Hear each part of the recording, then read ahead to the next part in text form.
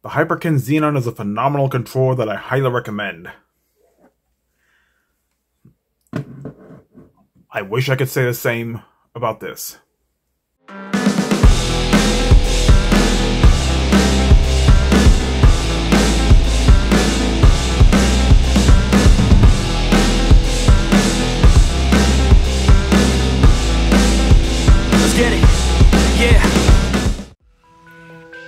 Greetings, comrades! This is I'm Caleb, back with another controller review. Wasn't been doing that one too soon, but I figured, you know, after spending a little more time with this, I decided to review the Hyperkin Duke. For those who don't know, this is basically Hyperkin's remake of the original Duke controller, the original Xbox. Yes, it, the original Duke controller came out way back in 2001 when the Xbox was first released. It wasn't available in the Asian markets, and uh, after a year, it was quickly replaced by the familiar S controller that we're all familiar with, and it's actually being remade as the Duchess by Hyperkin. There's no release date yet, and I'm looking forward to getting one of those because I also have more fond memories of that controller, having never used this one. And, well, let's just say there's a reason Microsoft went from this design to the Controller S. And yeah, while there are some things I like about it, it's kind of a hard controller for me to recommend, and we'll get to that. So let's get to the feel of the controller, and I can tell you right now, this is not a very comfortable controller for a long run. For instance, you can see, obviously it's a big controller. It's huge, like twice the size of a DualShock 4. And it's as heavy as an Xbox Elite Series 2 controller. Fun fact. Watch Gamer Heaven's video if you need proof of that. But look how thick these control wings are. And, you know, compare it to an Xbox controller you get nowadays. It's significantly bigger. Now, I don't have an original Xbox controller S with me to do a proper comparison, but again, this is probably one of the reasons they switched from the Duke controller to the controller S for the original Xbox. Now, at first when I held it, it did feel a little comfortable because, you know, it's pretty rounded. Fits pretty nice in my hands, but given how much, uh, the surface area of my hands is holding this, it puts quite a bit of strain in my palms and especially around the back of my hands here. So I can't really use this controller for longer than 30 minutes or an hour because after a while it's just not very comfortable. Which, uh, if it had some, like, maybe it had rubberized grips here, that'd be nice, but, uh, they wanted to stay too true to the original design, and, you know, they definitely pulled that off, so give credit where credit's due. And, uh, as far as reaching the buttons and stuff go, easy to reach the thumbsticks pretty well, the D-pad, which I'll get into in a minute. I can reach that pretty well. The reaching the uh, well, get to those in a minute. The face buttons, they're pretty good, but you notice how small they are. And, you know, with the design, redesigned controller S, the controllers were, the, the buttons were a little better designed, they were a little bigger, They were a little better spaced apart, so you can, you know, press them separately a little easier. Here, I can press all four of these buttons with my thumb, and I, and I have fairly big hands, but even after a long time, this is not very comfortable when I hold it. And we got the, uh, black and white buttons, which it was played original Xbox will remember those. And the triggers, they're pretty easy to reach because they're pretty low compared to everything else. And the bumpers, yeah, we're gonna get to those in a minute. But yeah, you can press them, but holding it like this, it's not very comfortable. It puts a little strain on my index fingers. So, yeah. Feel wise, it does not feel good for me. And again, I have fairly big hands. I'm used to like the feel. Call me jaded. I'm just used to the feel of the 360 controller, and especially the newer Xbox controllers, and even the controller S for the original Xbox. But holding the Duke controller, yeah, there's a reason they got redesigned pretty quickly. Okay. And reaching the face buttons, yeah, you can. Yeah, it's nice that they're there, though. Uh, I'm glad they redesigned it so it's in a better place. Though Granted, I wasn't too big of a, a fan of the uh, S controllers button uh, button placements because they were over here, like uh, near the D-pad on the left. Instead of being in the middle, which we're traditionally used to, they fixed that with the 360 controller, though. Reach down here, it's pretty okay. And of course, they added the share button because this is made to be played with uh, modern Xbox consoles as well as a PC.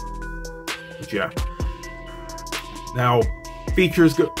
As far as features go, it's just like the Xenon. It's pretty limited, though it does have a few tricks up its sleeve, which we'll get into.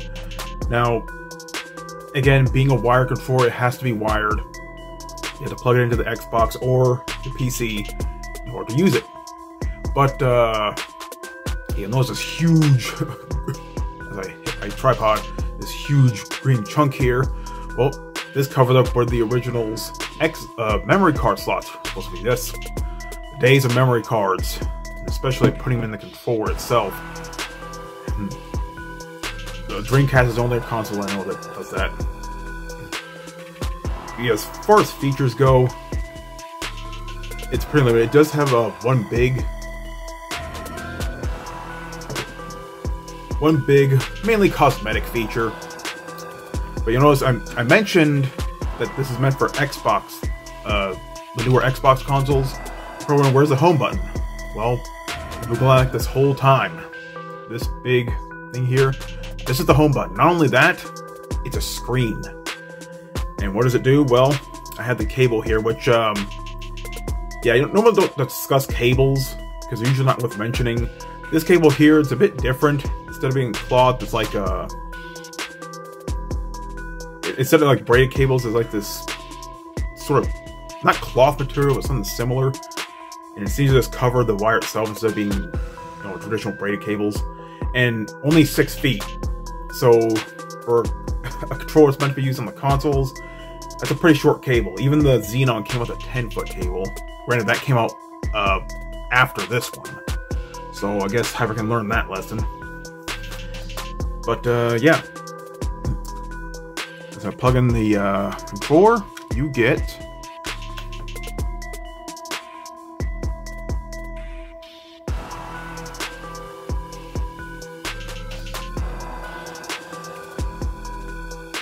a startup graphic, the original Xbox boot sequence and a little uh, graphic showing the 20th anniversary, because this is a 20th anniversary controller. This controller's been out for a while, but around 2021, celebrate the 20th anniversary, they released this version, which I got. And yeah, this big screen is the home button. You press it, and you have the home button, but every time you press it, it replays the uh, startup sequence. No sound, of course. It's just a display And uh, that's pretty much the big feature of this controller. Other than that, there's not much else going on with it. Again, it's nice they included bumpers, but uh, we're gonna get to that later again. But uh, I do like how the, the D-pad's a little green. I'm not gonna, I'm gonna be honest, I'm not a fan of the design of this. Granted, it feels, you know, it does function properly. You know, the direction is pretty good, but just the appearance of it just doesn't sit well. Granted, this was what the original looked like. Granted, it was black, not green, but I'm, I'm just glad they redesigned it the Controller S. But honestly, I still prefer this D-pad over the original 360 D-pad. but uh, now, ease of use, it's a wire controller, just plug it in and you're good to go. But keep in mind, if you want this screen to work properly, you can't plug it into a wall outlet or a charger or anything. You have to plug it into an Xbox console or your PC, otherwise thing will just blank.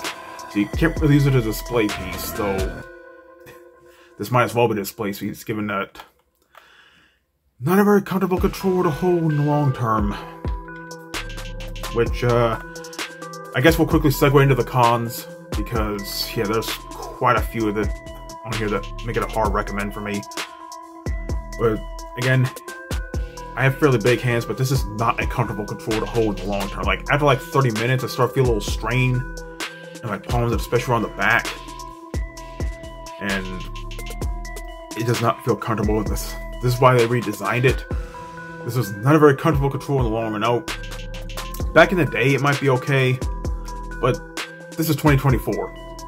We're used to like uh, rubberized grips and like smaller controller wings that are more ergonomic in the hands. This, you know, stayed true to the original design. You know, it works to a fault. And you know, if you're playing playing Call of Duty or Apex Legends this, good luck, because uh, it's not a very comfortable controller. Plus, the uh, buttons are so close together. I feel it's easy to press the wrong button, like especially with big thumbs like me. Like I press A, but I actually press X as well, or reach for Y, but I end up pressing all four buttons at once. Yeah, not too big on that. And another big flaw, the shoulder buttons. I don't even know why they bothered. Honestly, they should have just kept the black and white buttons, just use those. Granted, the uh, shoulder buttons do mimic the black and white buttons, which behave as a shoulder button, so have one or the other. You know, if you're staying true to the original design, just stick with these. Don't even put shoulder buttons, because you gotta remember, the original Xbox controllers didn't even have shoulder buttons, just triggers.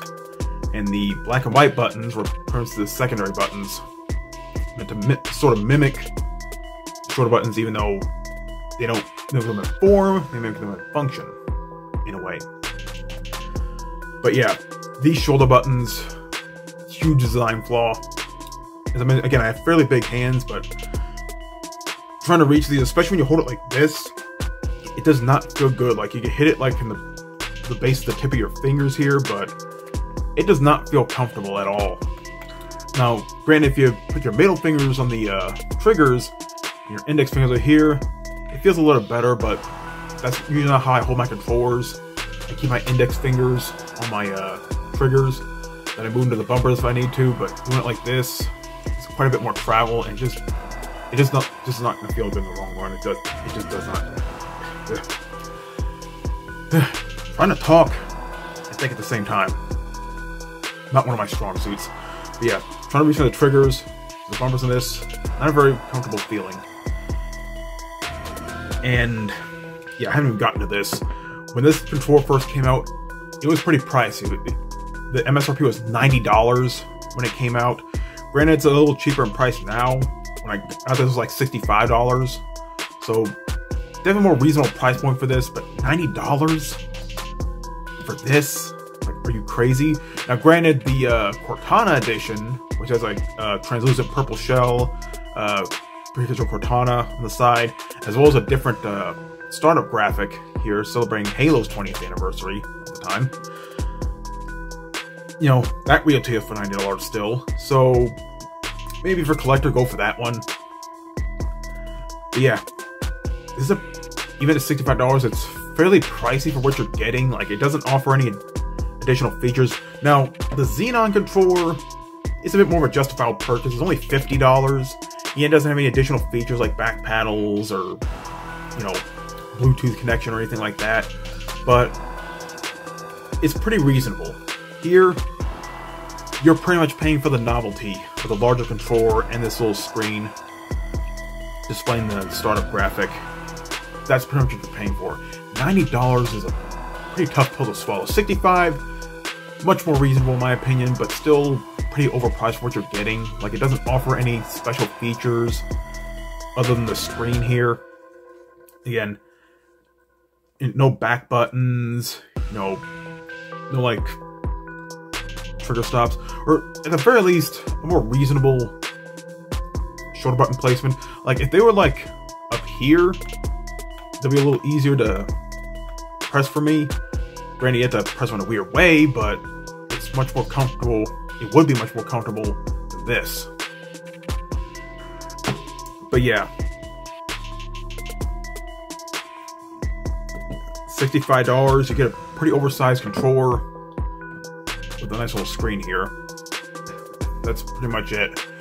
So yeah, Hyperkin Duke controller. Now, pros co, you know, it stays true to the original design, and the home screen is a nice little touch, but uh, sadly those are the pros end for me. As far as cons go, very uncomfortable, especially in the long term play. Button placement, not a huge fan of. The, uh, oh yeah, I forgot to mention the control sticks. Pretty inaccurate, 60% error rate, the gamepad tester. So yeah, not a big selling point for these. Shoulder button placement is terrible, and big thing, it's an expensive controller for what you're getting. It doesn't offer anything special other than the screen. And yeah, that's pretty much it. So yeah, in the end, do I recommend the Hyperkin Duke controller? Sadly, I'm gonna say no. Now, I would recommend this for collectors. Actually, the only like two people that I, recommend, I would recommend this controller for: collectors and hardcore Xbox fanboys that uh, really like to collect nice bits of uh, Xbox nostalgia.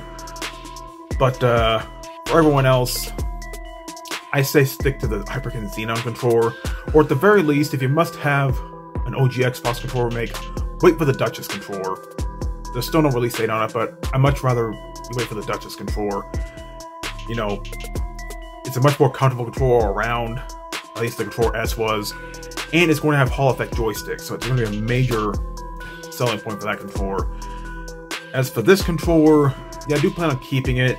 Nice little displays. I'll still use it every now and then, but uh, as far as uh, classic Xbox goes, I'm probably going to stick with the Xenon, and you probably should too. Or at the very least, wait for the Duchess. But yeah, the ergonomics, the uh, button placement, and the price make it a hard sell for me. So, unless you're a die-hard Xbox fanatic, I say steer clear of this controller. Anyway, this is Unforgiven Caleb signing out. Have a good day. Suck it up, life's tough, we know that. Someone's got better stuff and can throw cash. Tell them I don't give a fuck, make my own path. I don't need no handouts, I'm my own man. Gotta get it, I'll get it, get it and fast, yeah. Got a girl and she'll get it, get it, she bad, yeah. Man, I only get down with the best, uh. I'ma leave the complaints with the rest, uh